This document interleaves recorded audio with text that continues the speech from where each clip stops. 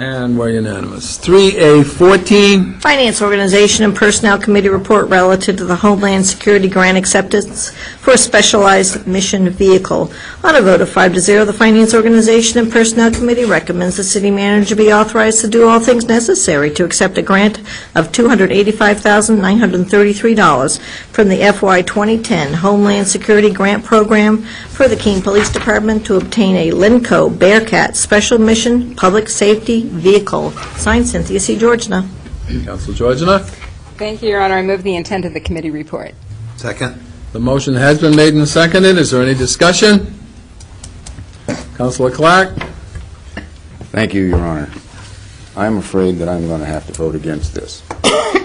Um, We, and I'm going to use a federal "we," not a local "we," um, have been, have been cutting things like fuel assistance for elderly people. Uh, We've been slashing our education funds. And we have the nerve to be passing out $286,000 armored vehicles. I just think that that is unconscionable. And, you know, um, someone has to stand up and say no to this culture of war. It's, it's, it's, this, this thing has just gone beyond, gone beyond the pale. And I think that um, my reputation in support of uh, law enforcement and public safety is strong enough to take the hit, so it might as well be me. Uh, So, um, and this is not to say that, uh, you know, our public officials here aren't aren't capable of, of- of, of, doing the right thing, et cetera, like that. I mean, I, I, I understand all all of the, all of the arguments on both sides of this, but it's, um, it's just something that I just can't, um, I just can't consciously uh, uh, uh, vote for, and I, and I uh, apologize to people who disagree with me, but that's just the way it is. Thank you. Excuse me. Thank you. Councilor Stout? I would agree on just about everything that the pre, uh, that Councilor Clark said. Um, But I don't think this is the place to make the stand. There are vehicles across the state on the other side, according to what the chief tells me, and I I want to say the number six or seven. But the point is that these are not brand-new technology. They, they've existed for a long time. And this part of the state doesn't have that technology. And while we should be devoting more money to the, the uh, causes aforementioned, um, without question, and yes, we are uh, a very warlike uh, culture right now, and that that's an unbudgeted warlike culture, which is why we're in such desperate straits. I agree with all of that. I just don't think that this, in this case, where the safety of, of not only the residents of Keene, but we're, we're voting really uh, uh, for the safety of the, the residents of the Monadnock region here tonight. I don't think this is the place to make that stand. Thank you. Counsel Listener? I'm sorry to say, uh, legislator, that this is not a public hearing. That was the, uh, last week, and I cannot accept any input from the public this evening. Counsel Venezia? Thank you very much, Your Honor.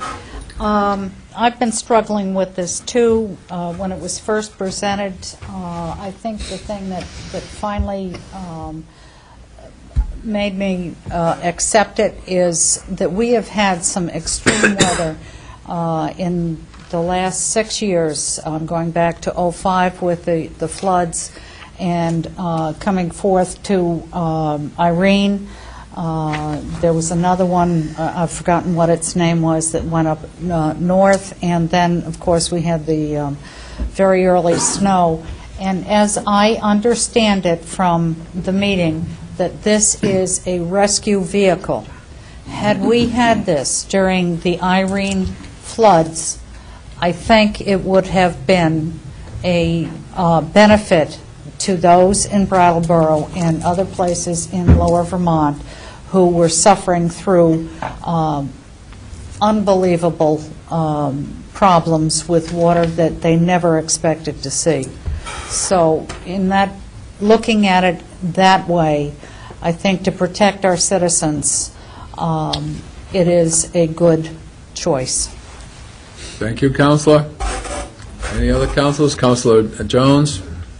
Thank you, Your Honor. I mean, I agree with everything Councilor Clark says, but this, this money is already allocated. And I think we, being the people of Keene, if we don't take it, this gift is going to go somewhere else. And if we can bring this in and hopefully never use this, I would be grateful. Uh, But God forbid we have to, it just may save a life someday, somewhere in Keene. So I think we should accept this with thanks. Thank you very much. Any other councilor that wishes to speak? Councilor Dunn? Coun- uh, Legislator um, Lindsay, I will not abide by this again on the interruption. I have spoken, I have said that this was discussed at a public meeting last week. I do not take input from the public, and that is final. Uh, Councilor Dunn? Uh, Thank you, Your Honor. Uh, When I came in tonight, uh, my intent was to vote against this, Uh, but a couple of comments that have been made makes me change my appreciation of this vehicle. I looked, I look at the picture, and it's definitely looks like a tactical vehicle. Um, However, its design is perhaps other than strictly tactical. Um, And if it does save lives, and if it's employed properly, it will save lives, I am therefore going to vote for it. Thank you. Thank you, Councilor, I appreciate those words. Councilor Slack? Thank you, Mayor. Um, Well, first of all, I would like to thank whoever the grant writer is at the police department for obtaining the vehicle in the first place. I think everyone knows that there are very few things that this side of the state, the western part of the state, is able to obtain. And because we do have such grant, great grant writers at the, in our city departments, we have been able to obtain many, many grants the past few years. So for, I, I feel that we need to commend the Keene Police Department.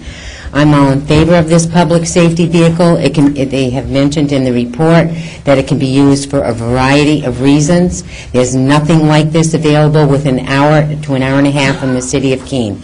I think that this is something that we need. Hopefully, it's something that we won't have to use often. Thank you, Councilor. Any other discussion? The motion is on the floor. All those in favor? Two, three, four, five. Any opposed? One opposed. Councilor Clark is opposed. So it passes 13 to 1. One recusal. Uh, It says 12 to 1, one recusal. Thank you very much. We now move to 3A15. Finance